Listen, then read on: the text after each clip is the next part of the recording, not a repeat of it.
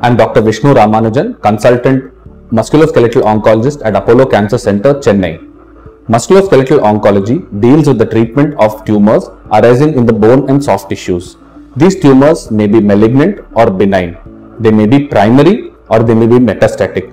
Primary bone tumors are more common in children, while metastatic bone disease is more common in elderly patients who have a known cancer elsewhere in the body. Most often, patients with primary bone tumors present with progressively increasing pain or swellings in the extremity.